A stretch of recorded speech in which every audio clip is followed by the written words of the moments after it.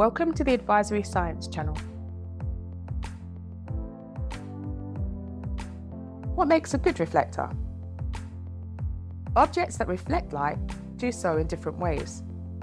Paper, cloth, and rubber are dull objects with tiny bumps on their surface. They might even feel rough when they're touched.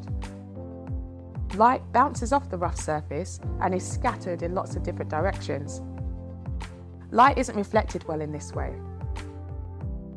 Materials with smooth, shiny surfaces reflect light well. For example, metals and still water. When light hits these objects, the light is reflected quite evenly. Mirrors are made from metal, such as aluminium or silver combined with glass. They have polished, smooth and shiny surfaces that reflect light so evenly that we can see a perfect reflection of objects placed in front of them. A common misconception learners have is that our eyes are a light source.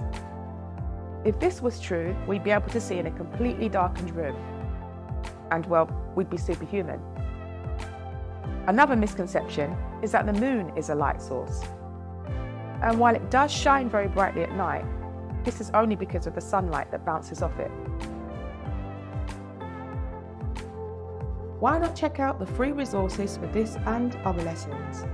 Or inquire about the full curriculum. Link in bio.